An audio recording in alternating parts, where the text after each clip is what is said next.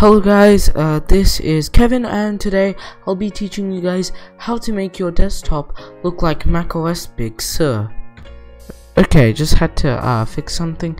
I just had to delete some previous videos so when I stop the video, yep, there won't be any problems. So, uh, wait a sec. Okay, so first step is to go to your web browser and click the link that I leave in the description. You guys can continue updating me in the comments to tell me if the link doesn't work and I'll just keep on re-uploading it. Um, but this is what you're going to download. Yes, the file size is big, but uh, that's fine. So it depends on your internet speeds and as you can see it's downloading. It only takes 60 more seconds so there's no point in pausing the video. Um, yeah. And also guys tell me if you guys want a um, tutorial on how to reverse this because sometimes people mess up when they try to and it will end out it will always ends up ending up badly. Um, so yeah. Okay so once we've got this file we're gonna drag and drop this there. Okay now we're back. Um, so make sure that you have WinRAR or FileZip um, file or 7-zip sorry um, this will help you unpack all the files inside. So there's going to be this folder. You can just drag and drop that onto your desktop. Uh, you can keep this there just in case anything happens. Now what we're going to do is we're going to follow these in the order that I've put them. So first thing that we're going to get is SecureUxTheme. This lets us install custom themes onto our computer slash laptop. So we're going to open this up. Um, it says 01 yeah just press yes press I agree and then press install. As you can see it says successfully installed. Please reboot. Um, so I will be doing just that. So I'll see you guys after I restart the computer. Okay guys so I just finished rebooting my computer uh, laptop sorry and the next thing that we're going to do is open up the folder again and we have this the Big Sur Windows 10 Suite by niivu. So now we're just gonna open that and we're just gonna drag and drop it into that folder. Um, a little tip I'll have is to not delete this um, folder because we'll be hiding the icons and it might come useful, especially when I do the um, how to uninstall tutorial um, tomorrow. Um, so let's open this and um, we're going to right click on this PC and press open in new window. And then from there we're going to double click there um, and we're going to double click on users. And then we're going to click wait no sorry windows. And then we're going to go to resources after resources themes. And then we're going to open up um well themes thin taskbar and we're gonna drag and drop that in to here. Now you can just press continue. And that will add everything in there. Now that we've dragged and dropped that in we're gonna go back out here. Um oh come on. Uh well I'm saying this now. You guys can quickly uninstall secure UX um but a good thing well since secure UX is already installed and there's been no problems um, that's fine. But this is something I'm going to tell you right now. Type in restore point create a restore point and then press create and then type it in um, before big big so press create and also creating a restore point. Just uh, give it some time. And create a restore point of your registry all your files and all your settings um, so we can press close and we can press OK. Now that we've got all that done, sorry, I should have done that earlier. I know, my bad. But since we only just installed UX theme, I guess it's still fine. So we're going to click on it again, and we're not going to install it. We're going to click Start Theme Tool. And if we click this drop down, as you can see, there's all this, right? Uh, we're going to select the one that we like. I'm gonna select Big Sur Day because that's my favorite one out of all of them. So just gonna click patch and apply. Um, it's probably gonna show black on your screen, but um, as you can see, uh, all these icons have been changed. Let me just exit out of OBS um, like that. See press apply. You know we already have. Um, so it's all been patched. Now we can press close okay next step. It's going to be changing this so we're just going to set this image as your background and we've got the big uh, background. Um, this is going to be uh, okay like make sure that, that this is at near the point where you have to make sure that you already have um um 70s uh, you already have made a um restore point because it's at these this moment that you might want to go back to previous points. Let's just say that it crashes. So we're gonna press yes so we're just gonna change that to exe as you guys just saw. Um, and we're also um, going to um, open this. So we're to press open. And as you can see the 7TSP MacPack light mode and dark mode. I'm going to pick light mode because I like it better. And so we're just going to exit and see that remove? We're to rename. And then we're going to change it to remove.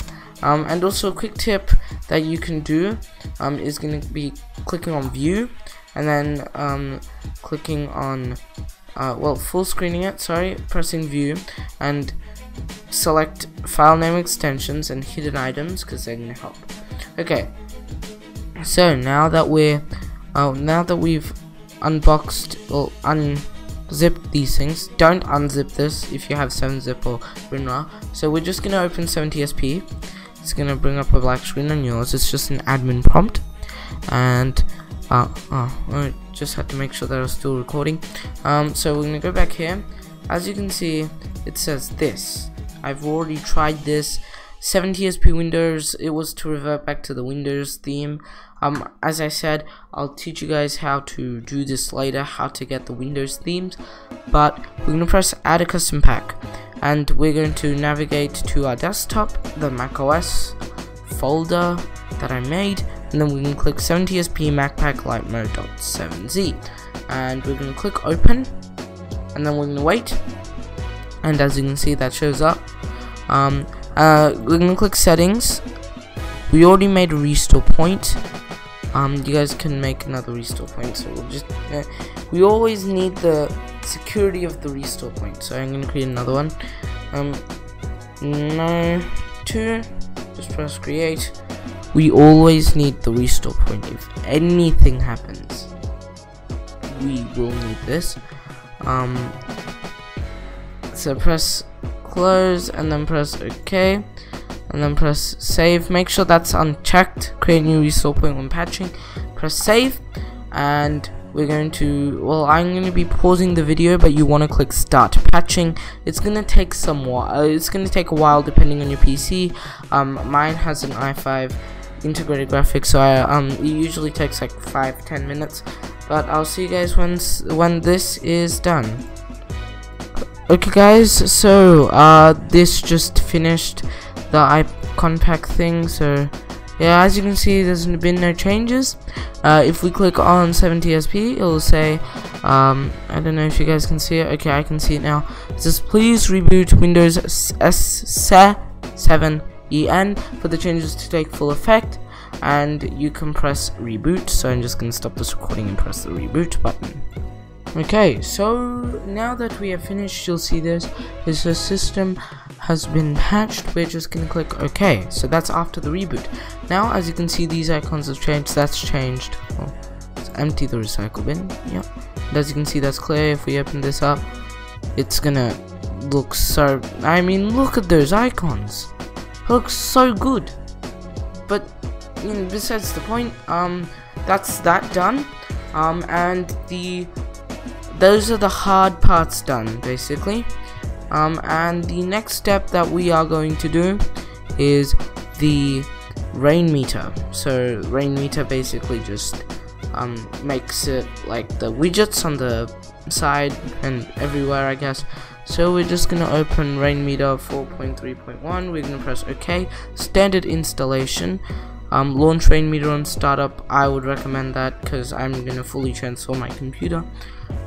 Um, well you can click run Rainmeter. And as you can see sorry about that loud noise but as you can see there's these weird um things around. So we're gonna right click on them and press unload skin onto all of them. So we're just gonna click on unload. Because um, we won't be using Illustro skins. So we're going to be opening up this again and we will be opening this. Now we're going to um uh well make a new folder for it here. So just click that button and call it big sur rain meter I guess um, and as I said keep this folder. You do not want to remove it just in case we need to do some backwards um, uninstallation. Um, so we're just gonna click on big sur.rm skin um, press apply well yeah make sure that all of this is checked. Press install. So this is Rainmeter make sure that it's still booted or on. And so it depends on the version of icons you um, chose. I chose light mode so we're just gonna tick that and as you can see it's light apply theme. The background is changed and you've got all these widgets. So I'll be customizing these and also showing you um, what my settings are. So uh, first let's set this back to the original Big Sur background. If you don't want it to then you can just keep it as that but I like this much better. Um, so what I'll do is I'll close all these apps and only have the necessities. So we're gonna click um, on add and then widgets or just shortcuts and I'll be adding Chrome. Um, let's see here. Um, Word if I can find it. Um, I won't be using any of these. Uh, no discord. Um, honestly um, maybe settings. Well I've already added word and chrome. So settings and um, uh, we could also add Visual Studio Code because I like Visual Studio Code. Very nice. So exit. And what we're going to do is we're just going to drag them over here to this group of apps.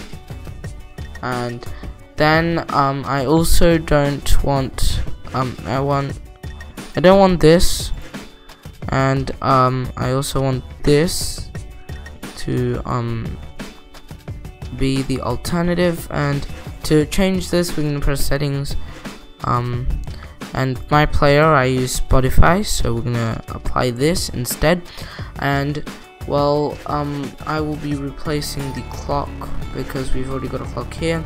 Um, we're gonna be clicking there and I'm gonna be adding my battery widget because it's very good to keep track of your battery. So shortcuts you know widgets and the battery widget is on 100% which is very nice. Um, and also I like to drag these to the corner of the screen. So there you go. Um when um and also something that I'm gonna do just right now is unlock the taskbar drag that to the top and now we're gonna lock the taskbar. And as you can see we're gonna have to adjust this a bit more. Um but it's as long as you did that step right then it should be fine so just snap that. All of these lock into place so it's very nice. Um, we can also move that there move that there too. For some reason I can't change the calendar but as you can see we've got that um, well, I know yeah that's, that's I guess we can move it on to the left a bit I guess. Um, but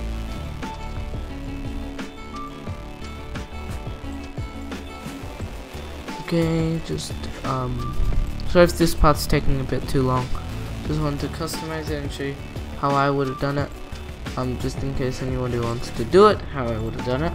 Um but as you can see that's all that. Um and so the next step will be opening this um okay um so next thing that we will be doing is the nexus so we're going to click on open and we'll be dragging and dropping this into the folder. Um, and we'll be double clicking this. Um, uh, I'll be telling something now. Um, we'll be using a crack of not this program but start Stardust Black studies back plus plus. Um, you guys don't have to do it um, but I just don't like the 30 day trial warning that I get every single time. So we're just gonna click next next in install um, and three two one. Registering files. We're gonna launch Nexus. And we won't be making any major changes. Um, it looks ugly. I know. So instead we're just gonna right click and then we're gonna do screen position and we're going to do bottom screen edge. We'll be changing this to the macOS dock um, after we're done with old is new and StartIsBack so we're gonna create another folder called old is new so what this does is it changes the explorer to look like the older um old um Explorer, and I guess that makes it look closer to Big Sur. Um, so we're gonna open it up, and we're gonna open this, and we're going to pick. Uh, we're gonna uncheck these two, and we're gonna select these, only these. Um, so just make sure to remember that. Don't change anything, okay? Apart from these, okay? So we can press install and you could see a black screen it's just an admin prompt and we're gonna click on yes um now we can wait and wait no it's showing another one yes it can now been installed. We can press close and as you can see it's sort of changed. Um if we click on well if we exit the folder app we go back into it mm, it should be different. Um I guess it's after the a reboot time guessing but restart um, and make sure that all these programs boot on startup that you have. Now the next one that we have is StartIsBack so we can just drag that into that and I'll be running you through how to crack it through too so we're just gonna open this folder running this um, install for me okay. Um, making sure that's viewable on the OBS um, so making sure that it's only for me okay. So clicking that it's gonna do some weird things and as you can see they're much thicker. We're gonna press close and we're going to open this folder well first we're gonna hold windows and press R. This will open this and as you can see this is the oldest start. If you guys know Windows XP that's what it looks like. Um, we're going to type in app data just by itself without the percentage percentage and um, we're gonna click local and type in s and that should see you should see StartIsBack. And as you can see all that's there. So if we open this folder there'll be msimg32.dll um you guys can whitelist this if only if your um antivirus blocks it but mine isn't so I'm guessing that yours won't too. Now if we exit this and open um well if we right click and press properties to the taskbar as you can see we've got this and if we press about your license is activated. This is very great. And now we can click on start menu and we're going to click on appearance and we will be adding a new one. So um, if we go to desktop and then Big Sur and then Big Sur Windows 10 Suite start orbs. We're gonna pick the version that we need. Mine's Apple Light because I'm not using dark mode. And then we're going to click here and we're going to press apply.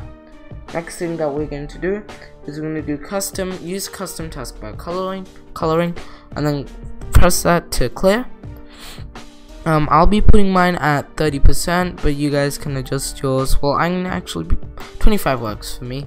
Um, and yeah that's about all you need to do there.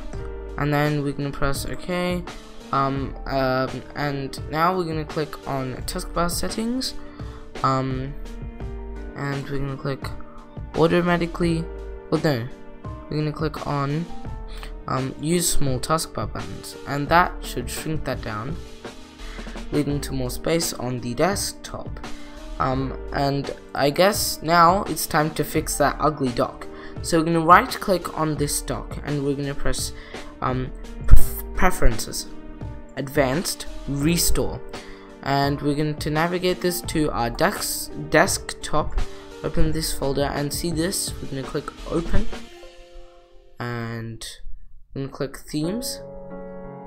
And then we're gonna click themes here. And if we scroll down. Wait a second. Is it broken? Okay just um. Oh I get what it is. So um sorry about this. I sort of missed a step in this tutorial. Um we're gonna open Google I'm gonna quickly switch to my main account. Yes this is gonna be cringy. But we're going to search Clayton Clayton PR Nexus dock I'll be actually including this in the download. I just forgot to install it. So press download. And we're going to click here. Well and we'll be opening this and then we'll be dragging and well we'll only need um this well this um because this is already set up most of it. So if we click on preferences and we click on open folder we can click here and then we can click on backgrounds. And here what we're going to do is we're going to open uh, preferred extraction app of core um of well yeah preferred extraction app. Um and we're going to open well if I could just find it um I'm gonna open what we just downloaded. Sorry about this I'm stuffing up so bad. Okay um well now we can open the other folder Windows Explorer here it is. Um well sorry about this so bad. Um uh all the other one. okay here you go. And we're just going to drag and drop macOS dock for Nexus. Not into that but actually into the backgrounds folder. And um, I'll be including this into the actual thing. So now if we click on effects and then themes again. Themes and then we can click macOS dock for Nexus dock and then clicking on color settings no colorization. Do color colorize with dominant color of desktop background. Press ok. And then we're gonna press apply. And yep. So what we can do is we can remove from dark, move. And remove. And what are these? Okay so now what we can do we can exit this one and also this one. I'll be updating the mega link. I'll be changing the file inside it. Sorry about the confusion but um, next thing that we're going to do is click here and we're also going to be clicking uh, we'll be dragging across we don't need Chrome because we already have it on our thing. File explorer link that in there. Um wait no link that in the middle tab um and well we'll just be linking everything that we want. So minecraft sure. Minecraft java and bedrock. Um uh, i know citra. Well no i've already linked citra so word. Um maybe nah i don't use it brave. Um i'll use uh, no, no chrome microsoft edge maybe. And what else? Um but yeah that's about it. So oh well we can also put our recycle bin um over here. And as you can see if we right click here press view and press this this is what we get. So I hope you guys enjoyed this video. Please remember to like subscribe and comment. There was a little muddle up um, but as I said um, I'll add this so um, let me quickly run over that for you just in case you didn't make sense.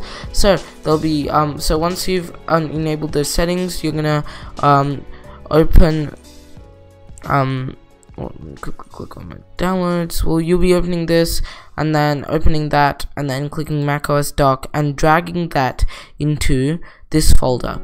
Um, ASRC users public public documents WinStep, Nexus, and backgrounds. So in this folder, you'll be dragging, drop, dragging and dropping macOS dock for Nexus dock, and then you're going to be applying that as the background only after you've um, applied the settings. But anyway, I hope you guys enjoyed this video. Please remember to like, subscribe. Again, I'm saying this for the second time, but yeah, like if this, like if you liked it, dislike if you didn't, and um, subscribe if you want to join the channel and I will see you guys in the next video. Bye.